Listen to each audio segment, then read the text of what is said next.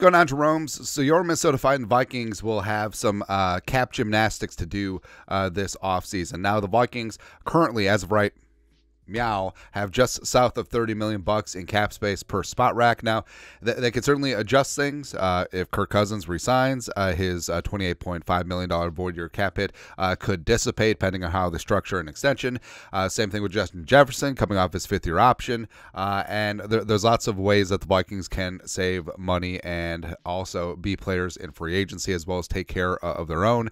You know, extending Justin Jefferson, potentially extending Danielle Hunter, Kirk Cousins, uh, Darrisaw etc. But there's a couple of players that could be cap casualties. Now, the, this list is pretty thin, and also it, there's a couple players on here wh- who probably aren't going anywhere, and that's a good thing. You know, looking at Harrison Phillips, uh, looking at Byron Murphy Jr. specifically, and the reason why the list is small is because Kwesi and uh, and company have done a very good job the last two off seasons, really trimming the fat of some of the older veterans uh, that were on and some not so great contracts. Because you look at Anthony Barr uh, getting punted in Kwesi's first off season, and then look you look last year uh, at Kendricks and Dalvin and Patrick Peterson, uh, as well as uh, Adam Thielen. And at, at, the time, it's just like, hey, you're getting rid of all these luminaries, but it really is simplifying the cap situation going forward and really streamlining things. And that's the reason why the Vikings don't find themselves in cap hell, uh, even though they are taking on void year and dead cap hits uh, for Kirko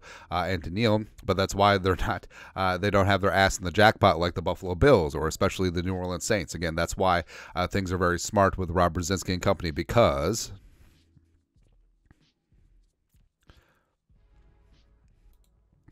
All right, so here, here we go. Five potential salary cap casualties, and again, th- this list is thin, and a lot of these guys aren't saving a lot of cap, and that's by design. Uh, this has been a very well structured uh, roster in terms of uh, cap revision over the last couple of years, uh, thanks to Kwesi and Brzezinski. But uh, up at the top, yes, it is Harrison Smith, and I, I think that you know, Harrison obviously took a, a, massive pay cut last season, almost fifty percent, uh, and I, I, think that if he said no, I think he obviously would would have been gone. But now he came back, he, and the thing about Harrison is that he didn't play bad this year. Like like he played solid. Now was he peak 2017 Harrison Smith? No, uh, obviously not. But uh, Harrison had 83 tackles, three sacks, all of them in the Panthers game.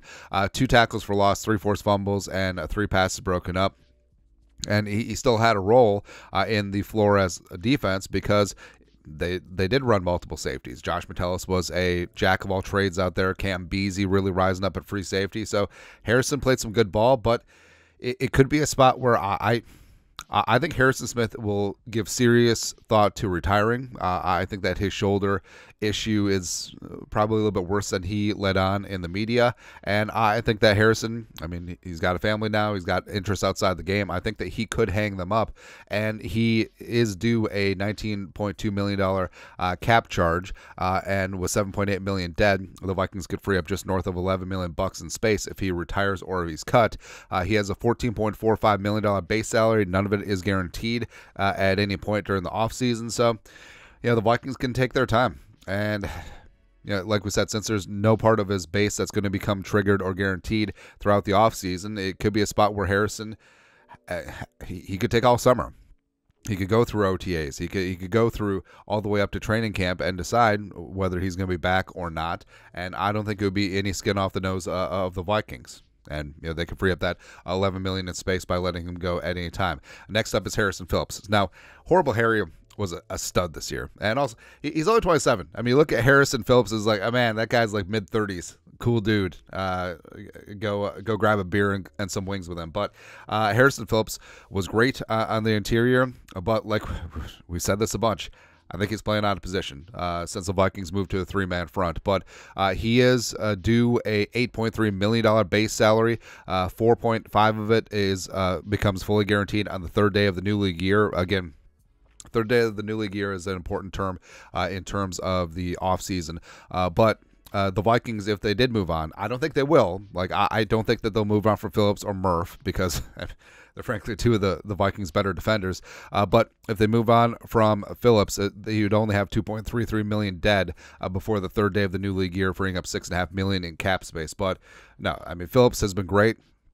I think it's a spot where if you do bring in a true nose tackle and allow Phillips to play a more four tech, five tech, maybe some three tech on four man fronts, I think that would be uh, that that would be the best case. Uh, but yeah, 93 tackles, 39 stops, both were leading uh, the league in terms of defensive interior players, uh, and also had three sacks and 21 pressures. So horrible Harry was pretty damn good in 2023. Also, I mean, he he could be a, a guy that's that uh, you look for a, an extension Hmm. Uh, Byron Murphy Jr., so uh, former Arizona Cardinal, uh, came in, signed a two year deal. Uh, he is only 26, had three picks, 13 passes bro- broken up. And you saw towards the end of the season, uh, when he was out with an injury, the, the, Vikings defense really fell apart in the two games against the Lions and also the game against the Packers. But uh, has a $10.16 million cap hit. 5.6 million of it is dead.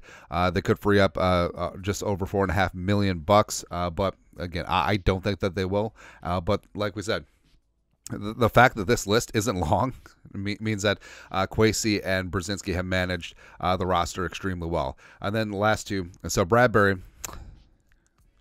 Bradbury is interesting, where obviously he fits in the culture. He's loved and respected in the locker room, uh, and uh, he's when he's out there, he's great. Not only not only is he above average center, but also you look at his leadership, you look at him making line calls, and you know he, he's solid. But uh, he's 28. Uh, he does have a 5.76 million dollar cap hit. Uh, the Vikings could free up uh, just north of four million in cap space if they cut or traded him. Uh, but uh, his 4.9 million dollar base salary becomes fully guaranteed on the third day of the new league year. he was 22nd in the league in terms of PFF grades last season, 18th in pass blocking, gave up 22 pressures and three sacks. But I don't know. Uh, I think that he will return uh, since Chris Cooper and Kevin O'Connell and company are, are, still in power. But I don't know. It's like, just like we're, we're waiting for him to turn a corner. It's like, hey, the undersized, uber athletic center. Like, when are you going to turn into Jason Kelce? You know, the good Kelce brother. I don't know. I don't know, man. But maybe we should just get back to having 330 pound dudes up front. Just between guard, center, guard, having a thousand pounds of man. which which would be a great be a great band name or bar name. Hmm. Uh, then lastly, Dean Lowry. I think Lowry's gone. So, uh, 29 years young. Uh, he's got a 4.48 million dollar cap hit. Uh, they can free up uh, just north of two million bucks if they move on from him. Uh, he also has a couple void years added onto his deal, but he has a 3.7 million dollar base salary guaranteed on the third day of the new league year. Nine games played, four starts, 14 tackles, four pressures, zero goose egg, D'Angelo Russell sacks. It was just it just wasn't good, right? And you know, one, of the big reasons why is like, hey, how come the Vikings defensive line wasn't getting a pass rush? Well, Harrison Phillips, anything, any pass rush you get from him is a bonus. Uh, same thing with Jonathan Bullard, who's more uh, more of a run guy, and Lowry has passed his prime. Uh, but I mean, that's one of the reasons why. That's why the Vikings need to retool things up front, and as well as I, I think moving out from Lowry frees up a roster spot, frees up a couple million bucks against the cap, uh, and you're good to go. So. Uh, I think that you know Phillips, Murphy definitely need to be back. I, I think Phillips could potentially even be extended. Uh, Bradbury is probably going to be sticking around because of the regime. I, I, think Harrison is either cut or retires. I, you know, barring a massive pay cut, I, don't see a path for 22 being back in 24. Sucks to say, but it is what it is. Uh, and, and Lowry, Lowry gone. That's all. Uh, but that's it. Uh, oh, also, if the Vikings cut Alexander Mattison, they can save like 600K. I don't think they're going to do that with 4 million dead. Nah.